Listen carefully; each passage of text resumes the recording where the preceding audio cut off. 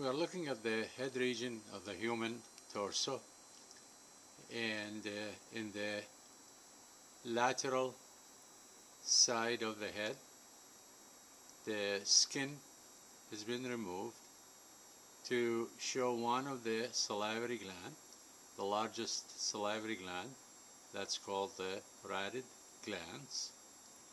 And if we go to the other side of the torso, we can see the two other salivary gland.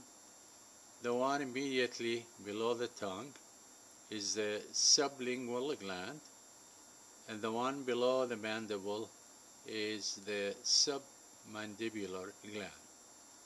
So these are the three salivary gland associated with the head and the mouth region.